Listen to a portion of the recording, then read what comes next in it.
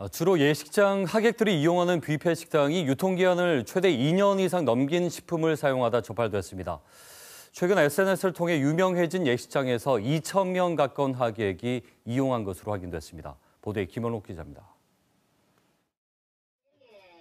부산의 한 뷔페 식자재 창고. 창고 안에는 냉동식품 등 다양한 식자재가 쌓여 있고 부산시 특별사법경찰과 수사관들이 내용물을 유심히 살핍니다. 2020년 12월 30일까지입니다. 올해가 지금 2021년이니까 아 1년이네. 1년 지났네. 튀김과 갑오징어 등 유통기한이 지난 냉동식품을 사용하거나 보관했는데 이 중에는 유통기한이 최대 2년 5개월 넘게 지난 것도 발견됐습니다. 유통기한이 지나 부산시가 압수한 식품이 냉동튀김 등 7종류의 50kg에 달합니다. 이 뷔페 식당은 최근 SNS 등을 통해 소규모 웨딩으로 유명세를 탄 예식장과 같은 건물을 쓰고 있습니다. 지난 5월부터 최근까지 예식장 하객을 상대로 영업을 해왔습니다. 26차례에 걸쳐 2,000명 가까이 이곳을 찾았는데요.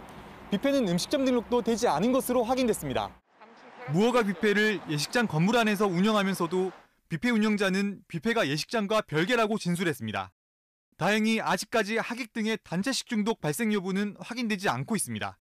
2020년경 자기가 예식장 부페 영업을 하려고 모든 식재료를 구입한 후에 계속 시도를 하였으나 그 영업 시작이 여의치 않아서 2021년에 시작하다 보니 그 재료를 그대로 사용한 것이라고.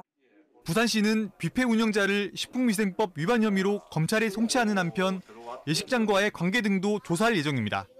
KBS 뉴스 김용록입니다.